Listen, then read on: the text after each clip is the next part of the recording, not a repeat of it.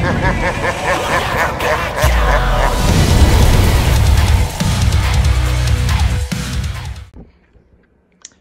What is going on, everyone? It is Fatal Reaper today, bringing you another video on the HP Pavilion.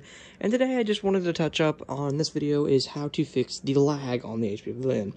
As always, guys, before we start, be sure to hit that like button, subscribe, and uh, really helps me out and really appreciate it. So let's go ahead and get into it. So in this video, I'm going to be talking about the best things to help lag. So there's a few different things that can cause lag. First being which, this is the pretty noticeable one, pretty easy to change, is right here you can see the right corner is your battery life. So let me zoom in here for you just to help you out see it.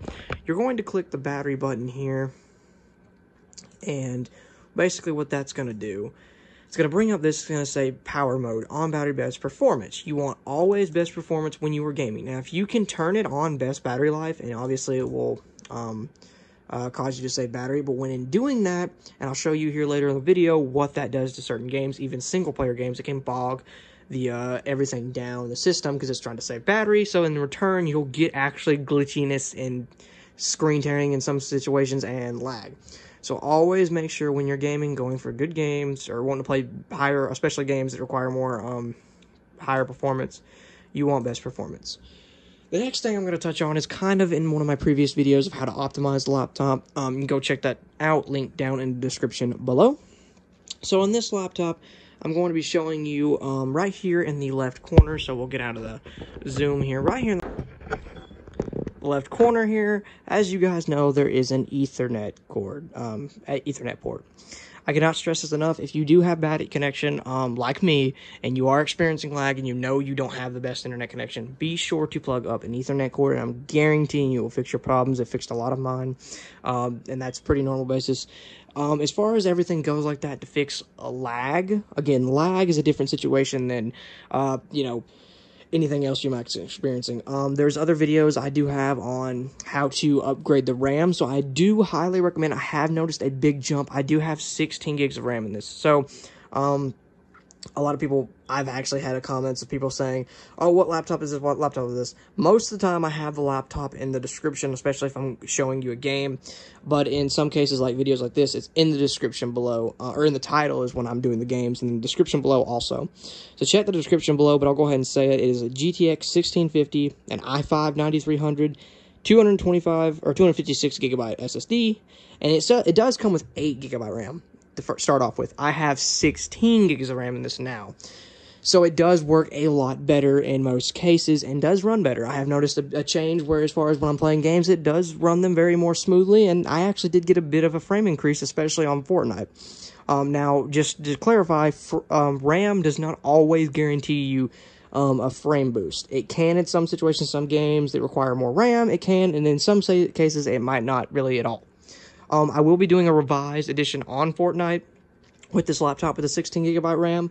I will also be doing a revised edition on Modern Warfare with 16 gigabyte RAM. That way you guys can see that and see the changes. And I'll play them side by, or I'll play them first on, you know, the original video I did and then the little video afterwards.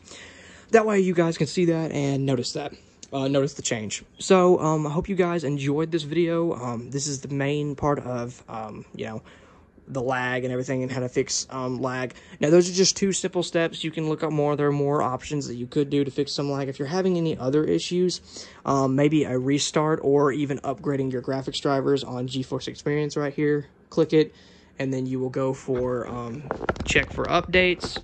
And the very screen, you'll click drivers. And here, let me turn up the screen here.